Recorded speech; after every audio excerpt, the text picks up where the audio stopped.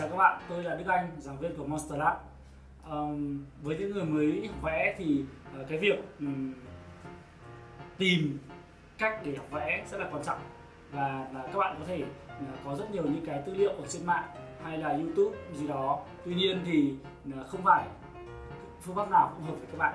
Hôm nay thì tôi sẽ chia sẻ cho các bạn những cái uh, mấu chốt và những cái điểm đầu tiên để uh, một người học vẽ có thể bắt đầu dễ dàng um, đầu tiên các bạn cần có một cửa sổ. Uh, cửa sổ này làm gì ạ? Uh, nó giúp cho các bạn ờ, có thể luyện vẽ được hàng ngày và uh, chất liệu giấy cũng là một cái chất liệu khá là quan trọng. Uh, các bạn đừng chọn những uh, chất liệu giấy như là uh, giấy A4 chúng ta hay đến uh, văn phòng bình thường mà các bạn hãy chọn giấy croquis uh, giấy croquis này nó là một cái giấy Ờ, khá thông dụng cho những người ờ, mới học vẽ. Ờ, giấy giấy này thì nó có điểm khác biệt gì? Thì trên thị trường có hai loại. Một loại là một mặt. Thế là ở đấy thì một mặt thì nó sần và, và nhám như này. Còn một mặt thứ hai là mặt trơn. Chúng ta sẽ không vẽ mặt trơn mà chúng ta chỉ vẽ mặt mặt sần thôi.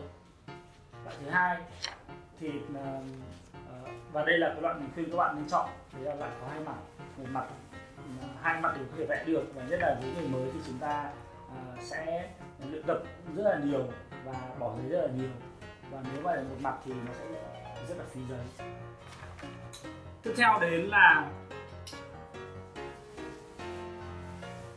dọc giấy vũ chỉ uh, ờ, cái này rất là quan trọng. Và các bạn uh, đây là một lời khuyên chân thành đấy là các bạn đừng dùng cái gọt bút chì mà hãy dùng dao. Và uh, tí nữa thì mình sẽ uh, hướng dẫn các bạn cách gọt bút chì. Um, với bút chì thì trên thị trường cũng có rất nhiều loại bút chì khác nhau. Mình khuyên các bạn là nên uh, chọn một loại bút mà cái độ dầu của nó vừa phải. Uh, một cái bút là ít dầu quá thì nét bút nó sẽ bị khô còn quá nhiều dầu thì khi mà vẽ thì nó sẽ nhanh bị bết nét chì. Vẽ thử ở trên giấy và di ngón tay thử cái nét bút cái nét cái nét vào vào cái nét chì đấy thì các bạn sẽ thấy là uh, cái độ chỉ đấy nó có bị uh, bị bết hay không và chúng ta có thể nhận thấy ngay.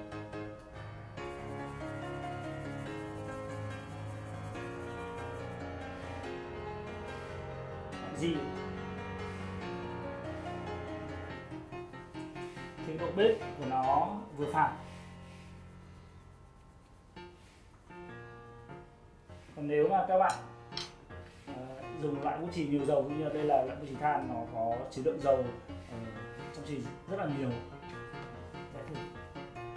Ưu điểm của loại này là là nó tạo độ đỡ rất là tốt. Nhưng mà với những người vẽ chuyên nghiệp họ quen sử dụng khống chế cái ờ, cái nét tay hay là khống chế cái độ của mình rồi thì nó sẽ dễ dàng hơn. Với những người thì khá là khó. À, gì? Đấy là cái độ bếp của nó rất là đậm thấy không? Và nó sẽ tạo thành cái độ bóng rất là mạnh ở đây. Còn ví dụ như là là cái này thì cái độ bóng của nó ít hơn bạn nhìn nhận độ bóng của nó ít hơn. Ừ. bạn nhìn uh, so sánh hai cái uh, cái ngón tay của mình bạn sẽ thấy. Và các bạn có thể dùng cái cách này để uh, ra những hỏi uh, hàng tạp hóa và kiểm tra nó. Nhớ là mang ít giấy đi để thử. Và uh, các bạn sẽ thấy là hai cái độ bóng này hoàn toàn khác nhau.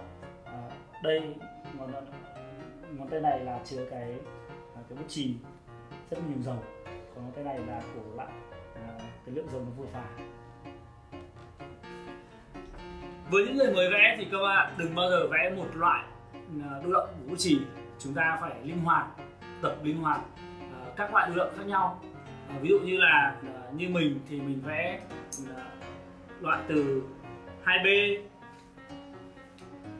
nên bắt đầu từ 2B các bạn học kiến trúc thì thì vẽ bắt đầu có thể là từ HB nhưng mà những người vẽ mỹ thuật thì nên vẽ từ bắt đầu từ 2B 2B, 3B, 4B, 5B, 6B à, với những bút chì động B 6B thì nó sẽ nhiều dầu hơn kể cả là các bạn chọn à, loại ít dầu hơn.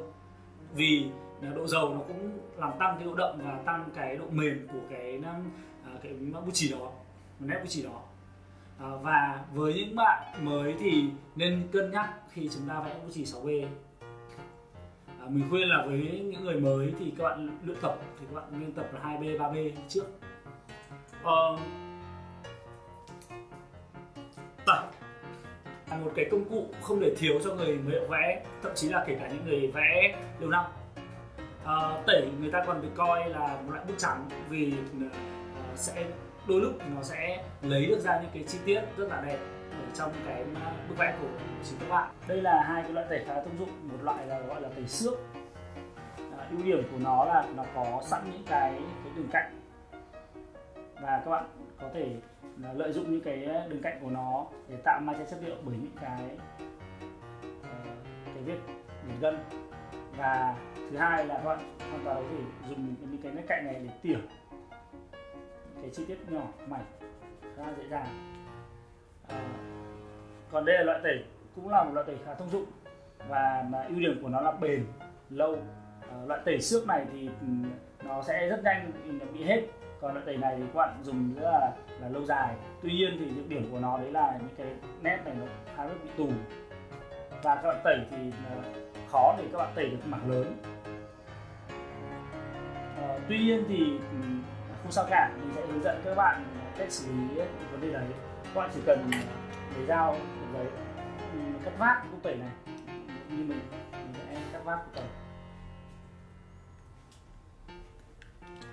Đây ạ. À, khi các bạn cắt vát như này thì uh, chúng ta đã tạo ra một cái uh, cái đường vát giống như là cái uh, tẩy uh, cạnh này. Và các bạn dùng những cái những cái đường sắc nét này để các bạn đi những cái nét cạnh rất là dễ dàng. À, như hôm nay mình có khuyên là các bạn uh, đừng dùng cái con bút chì mà hãy dùng con dao à, ờ, đơn giản là vì này là khi các bạn gọt thì các bạn nên gọt uh, uh, hơi dài cái bút chì ra một chút và hơi uh, tỉa vát cái bút chì một chút để cho cái độ mà uh, độ vát đồ, đồ, đồ nhọn của bút chì nó hơi có có phần là bẹp à, ờ, tại sao lại thế? Ví dụ như cái này. Rất là nhọn. Và nó lại ngắn nữa. Ờ, ngắn thì sao? Khi mà chúng ta vẽ nó sẽ nhanh hết. Và thêm nữa là cái đầu này nó quá nhọn. Nó sẽ ảnh hưởng đến nét vẽ của chúng ta rất là nhiều. Đó là tạo ra đường sắc nét. Ừ, không cần thiết. À, mình sẽ hướng dẫn các bạn gọt bạn nên gọt dài cái cái cái chỉ ra.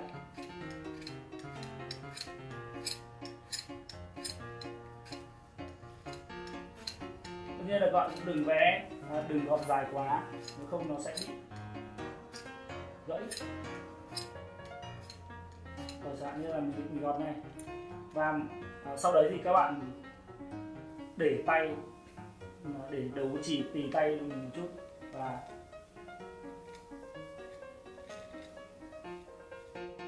tiểu thì mỏng cái cái đầu bị đừng bị nhọn quá. À, mỏng đi. Các bạn như này. Mình đã có một cái ờ, cái uh, bút chì ừ, khá là thuận lợi để cho việc vẽ. Mình sẽ vẽ thử. Mình sẽ đi nét thử cho các bạn. Cái đầu vát này nó sẽ giúp chúng ta là như cái nét vẽ, khi cần dựng, nét đủ nét thanh, nét đậm. Bẹt thì bạn để nét bẹt xuống và nó sẽ đi được. Khi mà các bạn cần dựng lên để đi những cái nét nhỏ ờ, cảm ơn các bạn ờ, đã ờ, theo dõi cái cái hướng dẫn này của mình. Và hy vọng thì ừ, cái những cái chia sẻ của mình sẽ giúp ích được cho các bạn nhất là những bạn mới. Và nếu các bạn có thắc mắc gì cần hỏi thì hãy à, comment ở à, dưới cái video này và à, hãy like và share để ủng hộ cho chúng mình. Cảm ơn các bạn.